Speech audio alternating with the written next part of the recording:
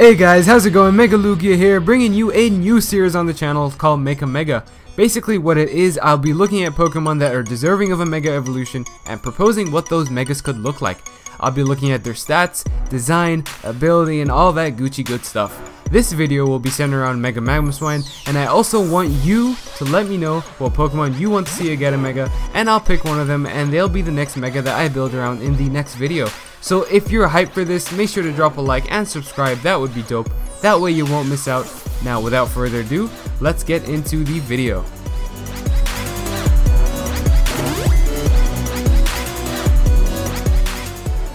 So Mamoswine is a fan favorite and Game Freak did a really good job of giving its former evolution, Piloswine, a much needed buff. They gave it a really good boost to its stats, rocking an impressive 130 attack and equally as good 110 HP, with a decent speed tier of 80 as well. Obviously there are room for improvements. Ice and Ground type is also very good typing offensively, having very few switch-ins in the game. It's also nice to have that electric immunity. Its abilities are also pretty good, with Oblivious allowing you to not be taunted and get up those stealth rocks against your opponent, Snowcloak being a bit more gimmicky but can be used in the right situation, and Thick Fat allowing you to take hits from fire and ice type moves. So if we take a look at this monster that is Mega Mamoswine, what's not to love about it, am I right? Firstly, we give it the ability Mold Breaker. Now, Mamoswine has no switch-ins. Mold Breaker ignores other abilities, so for example, Rotom Wash will no longer have Levitate against you, and Earthquake is now super effective against it and knocks it clean out. Also, Mega Venusaur's Thick Fat will no longer come into play, so Ice moves are going to body it as well. I think it also should get the move Swords Dance because Mamoswine just looks like the type of Mon who will be able to set up in your face, giving this monster even more of an attack power. So of course now let's take a look at Mega Mamoswine's stats. First, I have to say that we ramp up his speed to 110.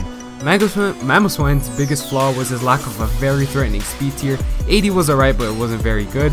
Giving it 110 base speed allows it to speed type with threats such as Latios, Gengar, and Mega Diancie, all who take serious damage from both forms of Mamoswine's stab moves. Next is upping its attack to 160, which would put it above Mega Pinsir, and we all know how much power how much of a powerhouse that thing can be. Also seeing it both its defenses go up to 90 would put it just shy of that coveted 100 stat, allowing Mamoswine to take a few more hits while it steps up against you or sweeps your team. And that's my analysis on Mega Mamoswine guys. I hope you enjoyed watching this new series. Again, if you did, don't forget to drop a like and subscribe, that would be dope.